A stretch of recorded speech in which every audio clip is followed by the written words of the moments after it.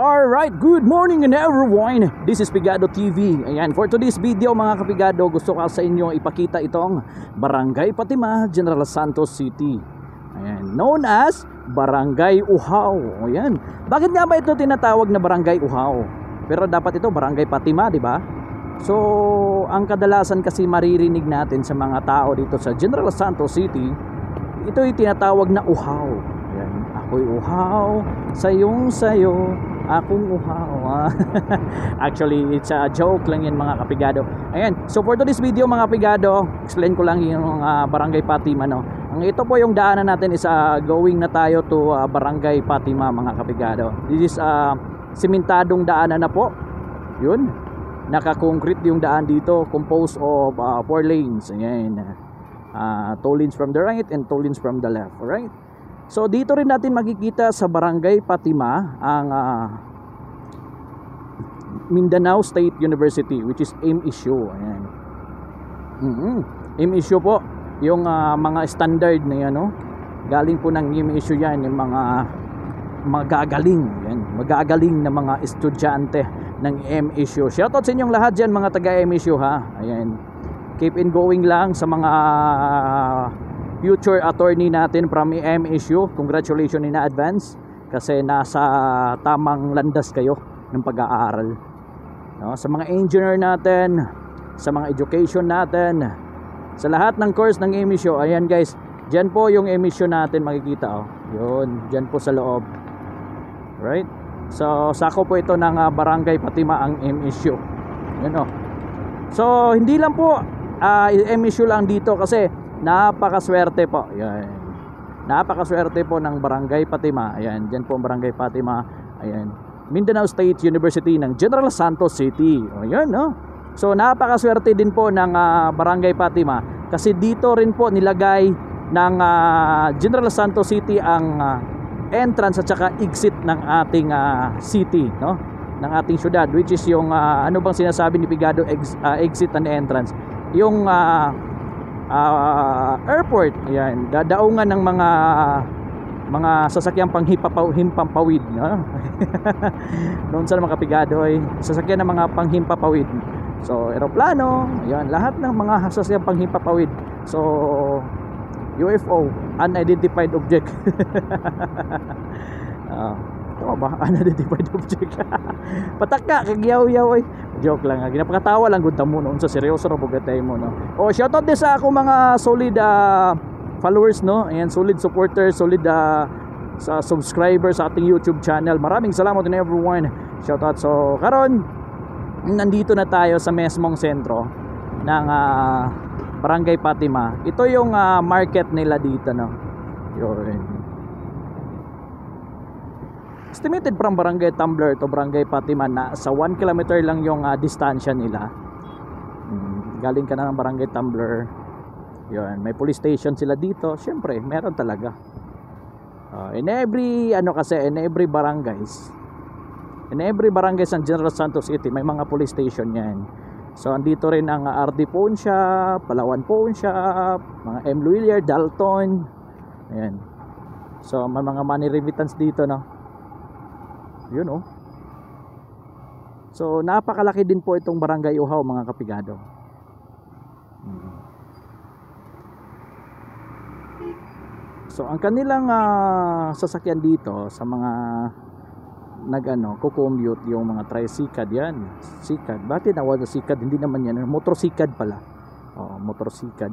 And pag magpa-city ka na naman, ah, sasakay ka ng mga ano jeep dito or mga may tricycle. Color blue. So itong daanan mga pigado, dyan yung sentro na. Itong daanan mga pigado going to, pwede ka lalabas dito going to Diversion Road to Apupong. And then uh, papunta po ng airport. And pwede din ka rin dito lalabas papunta po ng uh, uh, Peaceport, no? Yun. Okay, and ito yung ah, ano nila, ah, National High School. Ayan, Patima High School. Ay hindi pala National High School lang. Ito yung ah, Patima High School nila, yung pedestrian lane. Yun. no? So ito yung daanan natin na tinatahak, dinadaanan ngayon is ah, parte pa rin ito ng Barangay Patima and going to airport itong daanan na to. Noong unang panahon, ah, wala pa po yung diversion dyan sa may Labangal or Apupong. I, I mean, wala pa yung diversion sa may Apupong. Ay, ito yung main ah, dinadaanan talaga pag uwing ka ng airport. Lahat ng ah, galing ng Sarangani, galing ng South Cotabato, dito dumadaan noong unang panahon. Yung wala pang alternative road, no? bypass road ng ah, airport. Pero sa ngayon, if ever galing ka na ng ah, galing ka na ng South Cotabato, hindi ka nadadaan dito sa mismong lu- ah, daanan na to, which is doon ka nadadaan sa bypass road ng diversion nila. Alright? So, diretso na yan sa may ah, airport ng General Santos City, no? No, papakita ko sa inyo kasi papasok tayo ng airport ngayon. No? Yun. Nakasunod tayo nitong ano, nagkakarga ng mga lata. Yun. Maraming mga lalaking sasakyan kaya ingat tayo palagi dito sa pagmamaniho mga kapigado ha. Kasi walang replay yung buhay natin, no. Ito, ito andito pa rin tayo ngayon sa Barangay Fatima. Grabe guys, napakalaki itong Barangay Fatima, no. Yun, no.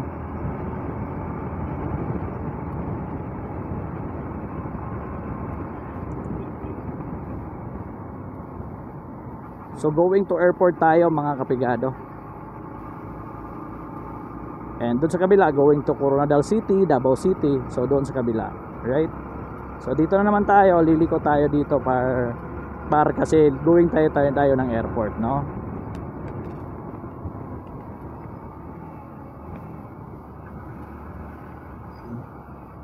Amping, ingat sa pagtawid. Ayan.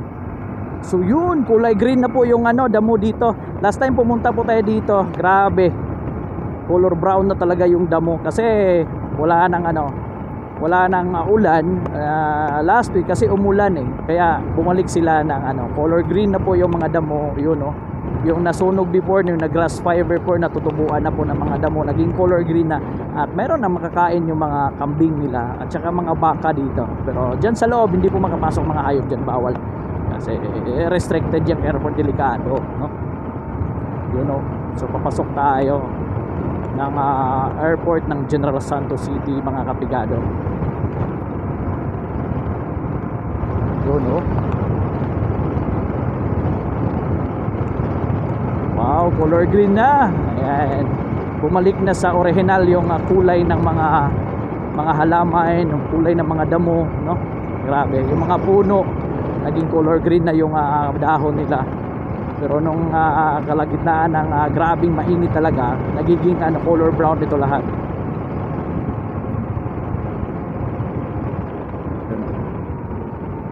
Pupunta tayo sa ng project no?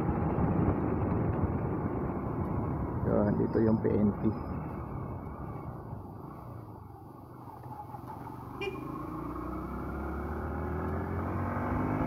So, ito yung uh, doon yung ah, security nila composed of ah, private security agency and then ah, mga PNP natin andun sa gate nila. Alright? So, sige, babay muna kapigado ah, kasi sasakay pa ako ng eroplano kasi pupunta tayo ng secret. Eh, bye-bye! Have a nice day! God bless and everyone! This Pigado TV. Bye-bye!